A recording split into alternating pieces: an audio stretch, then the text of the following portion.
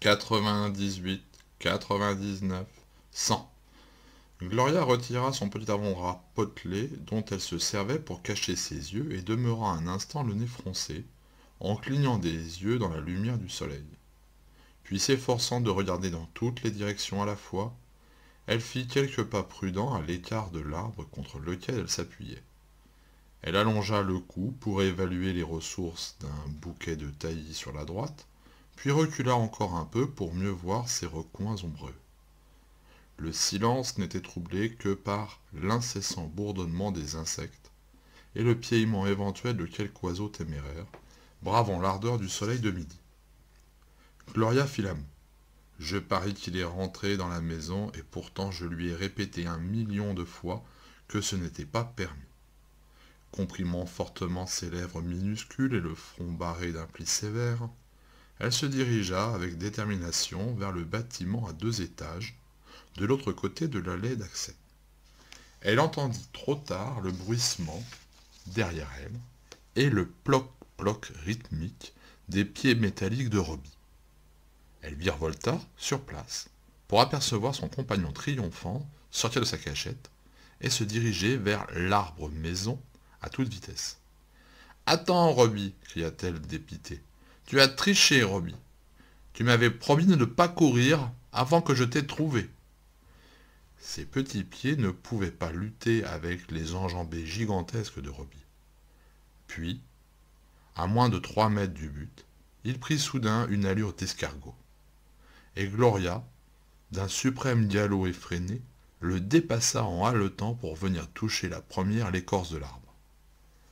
Rayonnante de joie, elle se tourna vers le fidèle Robbie, et avec la plus noire ingratitude, le récompensa de son sacrifice en le raillant cruellement de son inaptitude à la course.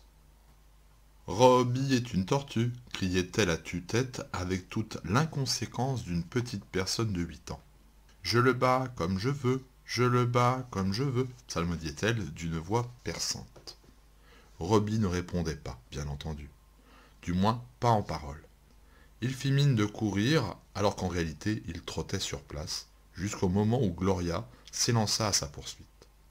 Alors il régla son allure sur la sienne, la distançant de peu, la forçant à virer sur place en décrivant des crochets courts, ses petits bras battant l'air follement.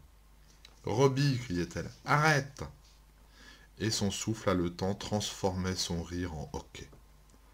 Soudain, il la saisit, la souleva, et la fit tourner avec lui, et le monde devint pour elle un tourbillon surmonté d'un néant bleu, avec des arbres tendant avidement leurs branches vers le vide. Puis elle se retourna de nouveau sur l'herbe, appuyée contre la jambe de Robbie, serrant toujours dans sa menotte un doigt de métal dur. Au bout d'un moment, elle retrouva son souffle.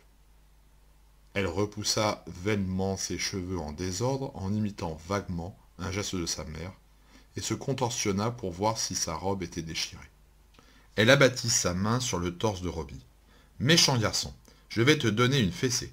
Et Robbie de jouer la frayeur en se protégeant le visage de ses mains, si bien qu'elle dut ajouter Non, Robbie, je ne te donnerai pas la fessée. Mais à présent, c'est mon tour de me cacher, parce que tu as les jambes plus longues que les miennes et que tu avais promis de ne pas courir avant que je t'ai trouvé. Robbie hocha la tête, qui était en réalité un petit parallépipède aux angles arrondis, réuni à un second, mais plus grand parallépipède, qui lui tenait lieu de torse, au lieu d'un cylindre court mais flexible, et alla s'appuyer docilement contre l'arbre. Une mince feuille de métal descendit sur ses prunelles brillantes et de l'intérieur de son corps parvint un tic-tac bruyant et régulier. Ne regarde pas et ne saute pas de chiffres, avertit Gloria en courant se cacher. Avec une régularité de métronome s'effectua le décompte des secondes, et, lorsque vint la centième, les paupières se levèrent, et les yeux brillants de Robbie balayèrent le paysage. Ils s'arrêtèrent un instant sur un fragment de tissu coloré qui dépassait au-dessus d'un rocher. Il s'avança de quelques pas et se convainquit qu'il s'agissait bien de Gloria, qui s'était accroupie derrière cet abri. Lentement, prenant bien soin de demeurer constamment entre Gloria et l'arrière-maison, Il s'approcha de la cachette. Et lorsque Gloria se trouva en pleine vue et dans l'impossibilité de prétendre qu'elle n'était pas découverte, il tendit un bras vers elle, en claquant l'autre contre sa jambe pour la faire résonner. Gloria se redressa, la mine boudeuse. Tu as regardé, s'exclama-t-elle, avec une insigne mauvaise foi. Et puis je suis fatigué de jouer à cache-cache. Je veux que tu me portes. Mais Robbie, offensé par cette accusation injuste, s'assit avec précaution et remua lourdement la tête de droite à gauche. Gloria changea de ton aussitôt et se fit cajoleuse. Allons, Robbie, je ne parlais pas sérieusement. Porte-moi. Mais Robbie n'était pas robot à se laisser convaincre aussi aisément. Il regarda le ciel d'un air têtu et secoua la tête avec encore plus d'emphase. Je t'en prie, Robbie, porte-moi. Elle lui entoura le cou de ses bras roses et l'étreignit avec force. Puis, changeant d'humeur en un instant, elle s'écarta de lui. Si tu ne veux pas, je vais pleurer. Et son visage se crispa en une grimace lamentable. Mais Robbie au cœur dur ne se laissa pas émouvoir par cette affreuse éventualité, et secoua la tête une troisième fois. Gloria jugea nécessaire de jouer sa carte maîtresse. Si tu ne veux pas, s'exclama-t-elle, je ne te raconterai plus d'histoire, c'est tout. Pas une seule. Robbie capitula immédiatement et inconditionnellement devant cet ultimatum, hochant la tête vigoureusement au point de faire résonner le métal de son cou. Avec des gestes prudents, il souleva la fillette et la déposa sur ses larges épaules plates. Gloria ravala instantanément les larmes qu'elle menaçait de verser et roucoula de plaisir. La peau métallique de Robbie, maintenue à température constante de 21 degrés par les enroulements à haute résistance disposés à l'intérieur de sa carcasse, était d'un contact agréable et le magnifique son de cloche fêlée que produisaient les talons de la fillette en battant rythmiquement contre la poitrine du robot était véritablement enchanteur. Tu es un croiseur de l'air, Robbie. Tu es un grand croiseur de l'air tout en argent. Étends les bras horizontalement. Il le faut, Robbie. Si tu veux être un croiseur de l'air. Gloria tourna la tête du robot et se pencha à droite. Il s'inclina fortement. Gloria équipa le croiseur d'un moteur qui faisait brrr, et ensuite d'armes qui faisaient boum et Des pirates leur donnaient la chasse et l'artillerie du croiseur entrait dans l'action. Les pirates tombaient en pluie. Je viens d'en abattre un autre. Encore deux autres, criait-elle. Et puis, plus vite, mes amis, dit Gloria, la mine sévère. Nos munitions commencent à s'épuiser. Elle visa par-dessus son épaule avec un courage indomptable et Robbie était un navire spatial fonçant dans le vide avec le maximum d'accélération. Il galopait à travers le champ, se dirigeant vers le carré de hautes herbes poussant à l'autre extrémité, lorsqu'il s'immobilisa avec une brusquerie qui arracha un cri à la jeune Amazone aux joues empourprées.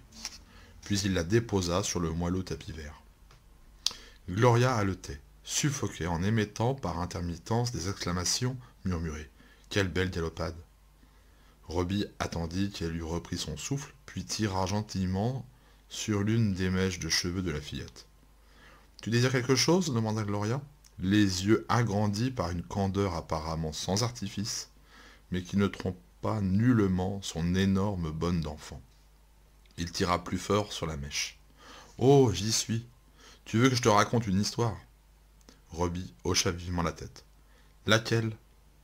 Robbie décrivit un demi-cercle dans l'air avec un seul doigt. Encore? protesta la petite fille.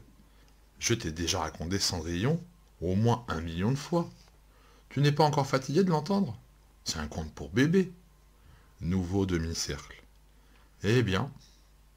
Gloria prit un air inspiré, repassa mentalement les détails du conte, en même temps que plusieurs additions de son cru, dont le nombre était d'ailleurs important, et commença. Es-tu prêt? Bon. Il y avait une fois une belle petite fille qui s'appelait Cendrillon.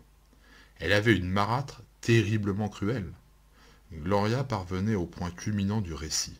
Aux douze coups de minuit, chaque chose reprenait son aspect banal et quotidien, et Robbie écoutait avec passion, les yeux brûlants, lorsqu'elle fut interrompue. Gloria C'était la voix haute perchée d'une femme qui venait d'appeler non pas une fois, mais plusieurs. Et l'on y discernait la nervosité d'une personne chez qui l'anxiété prenait le pas sur la patience. Maman m'appelle, dit Gloria, quelque peu inquiète. Je crois que tu ferais bien de me ramener à la maison, Robbie.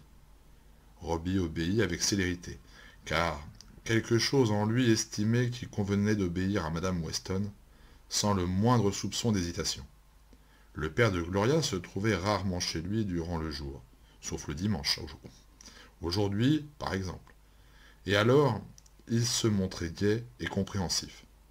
La mère de Gloria, au contraire, constituait une source de malaise pour Robbie, et il avait toujours tendance à fuir sa présence.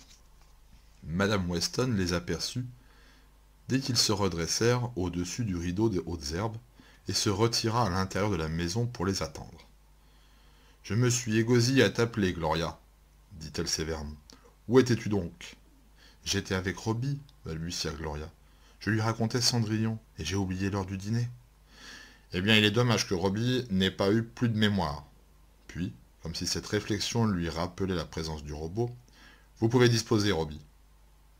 Elle n'a plus besoin de vous en ce moment. Puis elle ajouta d'un ton brutal. Et surtout, ne vous avisez pas de revenir avant que je ne vous appelle. Robbie fit demi-tour pour obéir, puis hésita comme Gloria prenait sa défense.